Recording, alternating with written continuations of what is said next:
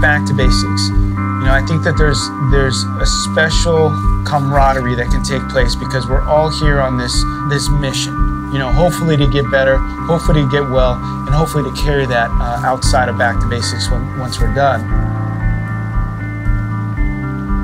It's not necessarily what's going on while they're in the Grand Canyon, but what they're taking away from that experience. And that's what we're trying to do on a daily, weekly basis at Back to Basics. Give them an opportunity and a platform to have an experience, digest it, and take it into the next steps of their lives.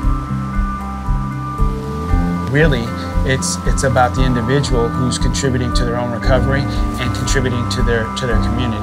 And I think that the culture is unique and special because they're exposed to special and unique things on a weekly basis.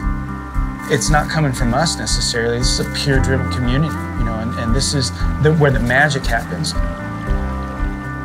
So I do believe that the outdoors, whether it be in the Grand Canyon or whether it be just my local municipal park, you know, I'm giving myself to make a connection, to put my bare feet onto soil and dirt. This is giving us an opportunity to adapt and to work as a team and to experience something beautiful.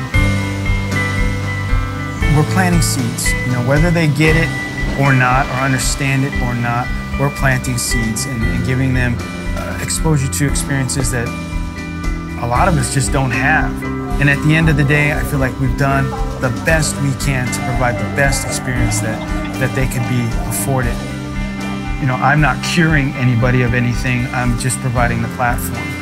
Everybody has their good days and bad days, but I, I think as a team, I know as a team, we're here for the right reasons, and, and it shows. You know, and, and it shows by those skeptical guys that participate in our program, and maybe they've been somewhere else and they feel a little jaded, but when they come here, they can they can pick up on that heart connection fairly quick, and and that's the buy-in because it's the real deal.